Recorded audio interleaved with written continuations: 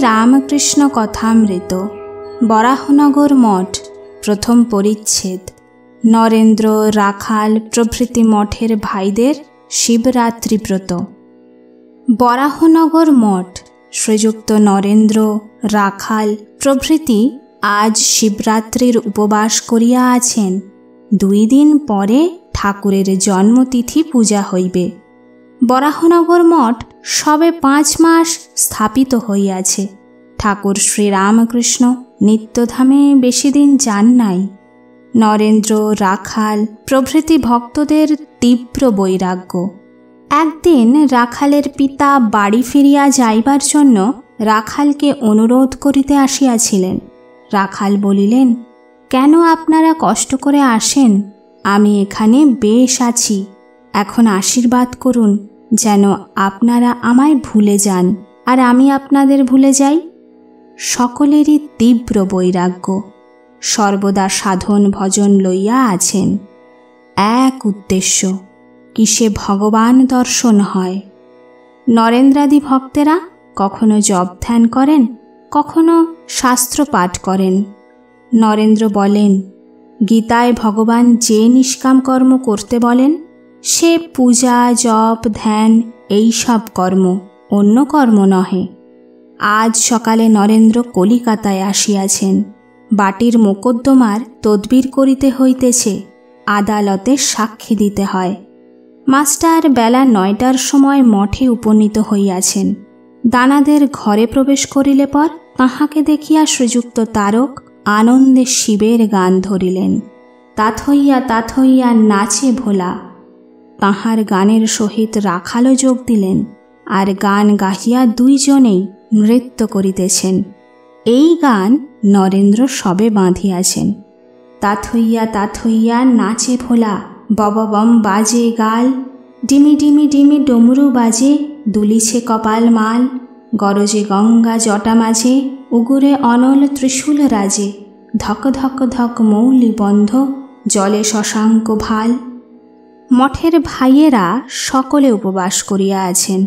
ঘরে এখন নরেন্দ্র, রাখাল, নিরঞ্জন, শরৎ, শশী, কালী, বাবুরাম, তারক, হরিশ, সিঁথির গোপাল, সারদা, মাস্টার আছেন। যোগীন, লাটু শ্রী বৃন্দাবনে আছেন। তাহারা এখনও মঠ দেখেন নাই। আজ সোমবার, শিবরাত্রি, একুশে ফেব্রুয়ারি, আঠেরোশো সাতাশি। আগামী শনিবারে শরৎ, কালী, নিরঞ্জন, সারদা, শ্রী শ্রী জগন্নাথ দর্শনার্থ পুরীধামে যাত্রা করিবেন।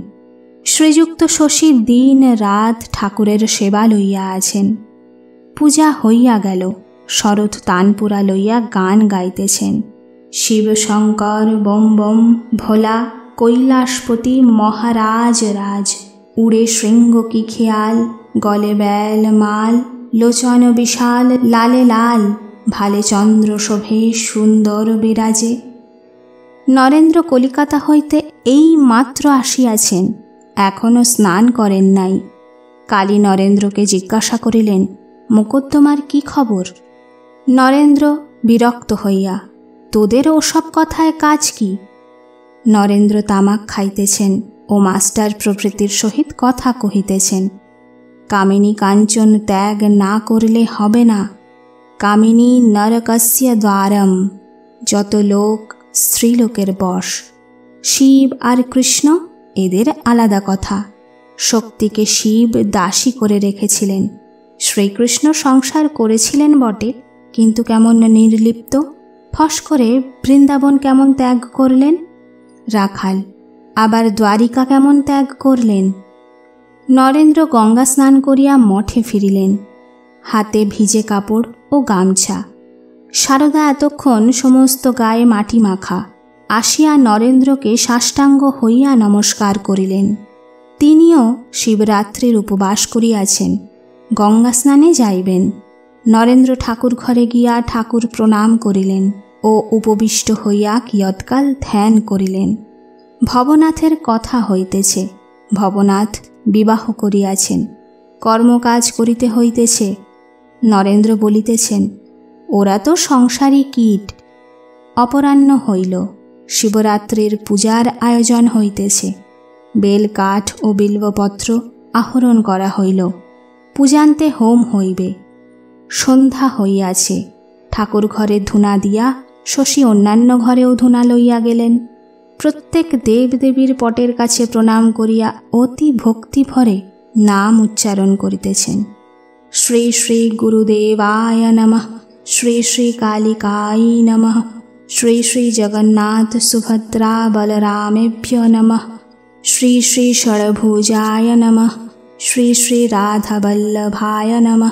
শ্রী শ্রী নিত্যানন্দায়। শ্রী অদ্বৈতায়। শ্রী ভক্তেভ্য নমঃ। শ্রী গোপালায় শ্রী শ্রী যশোদায় নমঃ শ্রীরামায় শ্রীলক্ষ্মণায় শ্রী বিশ্বামিত্রায় নমঃ মঠের বেলতলায় শিব পূজার আয়োজন। রাত্রি নয়টা। এইবার প্রথম পূজা হইবেক সাড়ে এগারোটার সময় দ্বিতীয় পূজা। চারি প্রহরে চার পূজা। নরেন্দ্র, রাখাল, শরৎ, কালী, সিঁথির গোপাল প্রভৃতি মঠের ভাইরা সকলেই বেলতলায় উপস্থিত। ভূপতি ও মাস্টারও আছেন। মঠের ভাইদের মধ্যে একজন পূজা করিতেছেন। কালী গীতাপাঠ করিতেছেন। সৈন্যদর্শন, সাংখ্যযোগ, কর্মযোগ। পাঠের মধ্যে নরেন্দ্রের সহিত কথা ও বিচার হইতেছে।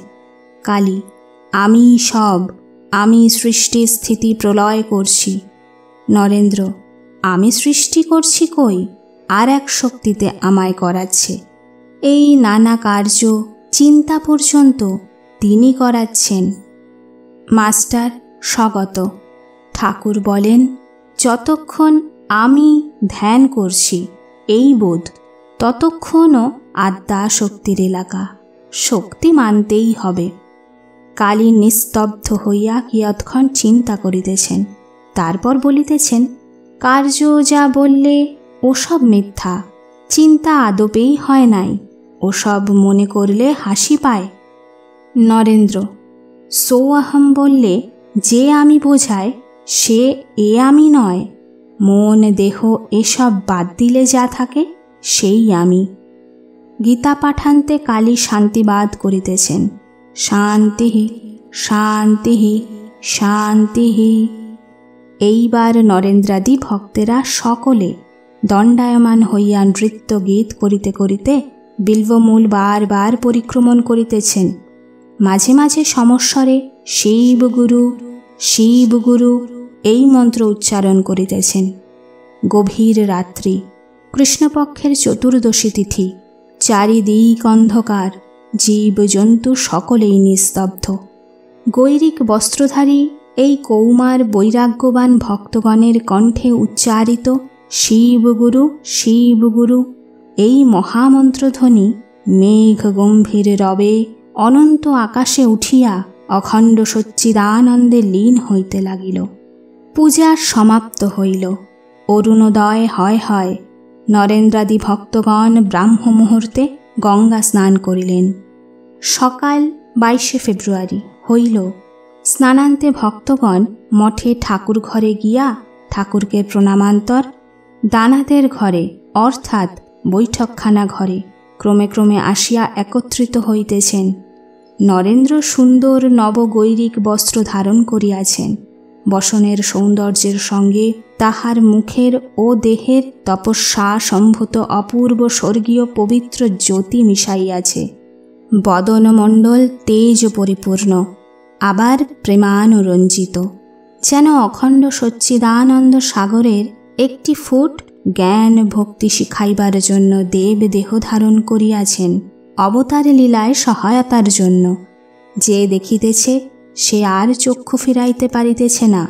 নরেন্দ্রের বয়ক্রম ঠিক চতুর্বিংশতি বৎসর। ঠিক এই বয়সে শ্রী চৈতন্য সংসার ত্যাগ করিয়াছিলেন।